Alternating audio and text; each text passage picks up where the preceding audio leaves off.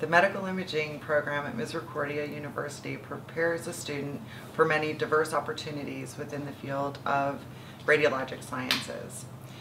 It's amazing to think of the different potential employment opportunities that are out there for students.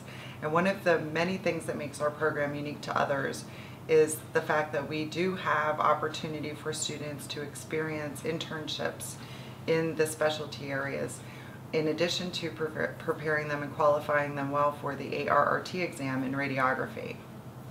Our program prepares students in a multitude of ways. We have students who rotate through and their primary purpose is to become qualified for the radiography exam.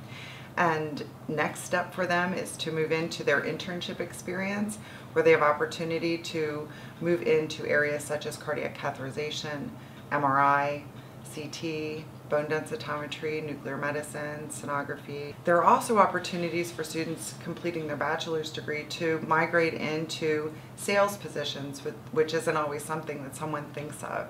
The other thing is the possibility to move into the area of industrial radiography, which is something that is very unique and a niche where our students qualify very well in those positions.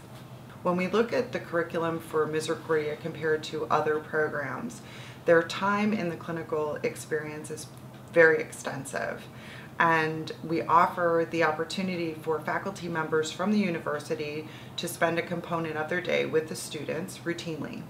That's a very unique feature to our program as well. Not only are we teaching the students in the classroom, but we're also getting to see them as we're molding them and becoming those radiographers. Because we have areas of specialty that we afford our students in their senior year, it's important that we have something to back it up. So we have credentialed faculty who are completely and amazingly qualified to provide the education associated with those multitude of opportunities that are there for students. Misericordia was fortunate enough to receive a grant to purchase DR and CR so direct radiography and computed radiography equipment, which is very closely related to what the students will actually experience in their clinical sites. Our pass rate at Misericordia University is remarkable. The ARRT examination is required by all students graduating from their programs to credential them to practice in the field of diagnostic radiology. And I'm very proud to say that our pass rate is above 97% for five-year average of first-time test takers. So the opportunities in the radiologic sciences are very favorable at this time. Misericordia students are very fortunate to have the experience of a liberal arts background as part of their education.